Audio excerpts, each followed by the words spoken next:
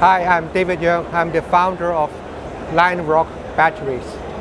We are a Hong Kong company making flexible lithium ion batteries. So why would we make the uh, lithium battery in a flexible form? It's because uh, we believe that um, flexible battery is the best solution for wearables. And wearables is a upcoming industry uh, in the world. So um, basically, this is a lithium battery, same chemistry as, as of the um, um, battery that you can find in your mobile phone or smartwatches. The only difference is we have adopted nanofiber technology inside the, uh, uh, the battery. So the battery is now uh, very stable when it's deformed or bending.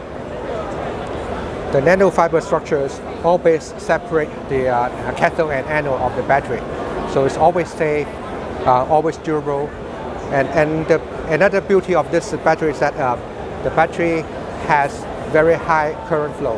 It can support um, a C rate of 2C, which means it's, uh, um, you can discharge, fully discharge uh, battery within 30 minutes, which is a very remarkable um, uh, feature.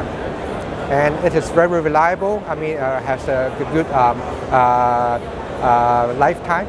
It can sustain a 1,000 charging and recharging cycles with only 10 to 15% capacity drop.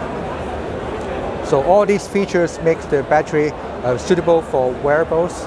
Um, applications can be like um, uh, smart uh, goggles, um, uh, smart clothing for heating with, or with sensors or lighting, uh, pet wearables, uh, smart insole, and of course uh, uh, smart watches.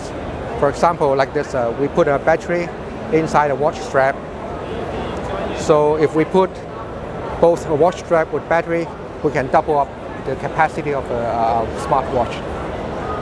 So the battery is safe. Um, um, if you nailed it, if you cut it, it is still very stable, even though uh, it cannot work a uh, few hours afterwards, but it's safe and, and, durable.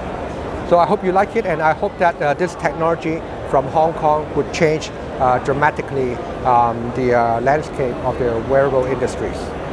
So again, we are Lionrock Batteries. We're making this uh, flexible battery. Thank you.